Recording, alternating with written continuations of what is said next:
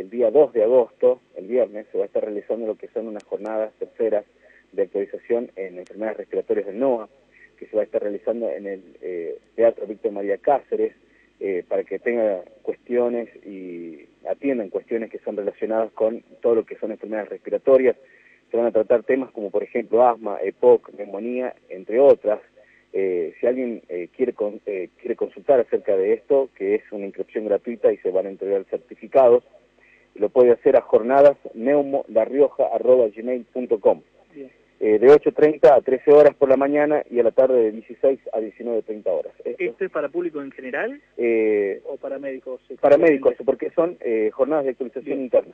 Perfecto. Así que bueno, agradecemos también al doctor Douglas Nazareno que se encarga de, y es eh, una eminencia acá en lo que es enfermedades respiratorias, así que bueno, agradecemos a él acerca de esta información que se va a estar realizando este, esta actualización.